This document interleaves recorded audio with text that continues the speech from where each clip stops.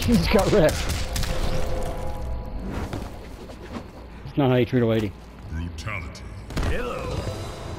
Damn.